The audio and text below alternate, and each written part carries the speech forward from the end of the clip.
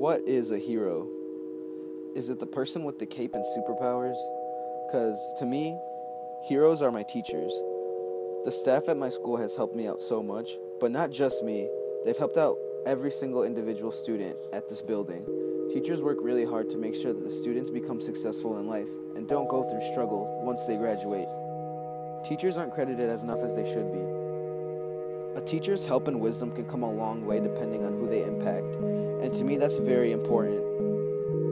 To me, teachers, without a doubt, are the best representation of heroes in our everyday community. They guide what is the future, and they make sure that it's done right.